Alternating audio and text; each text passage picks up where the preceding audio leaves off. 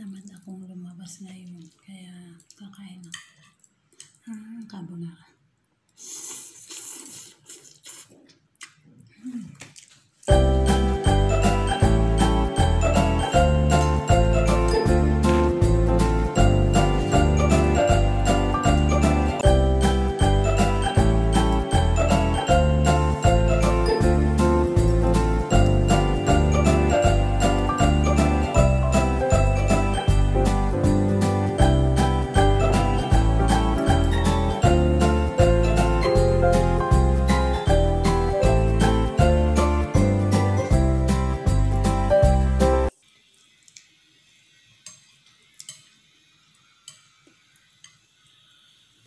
Pansit lang. pansit. Tinutulpo-tulpo kasi ng spaghetti.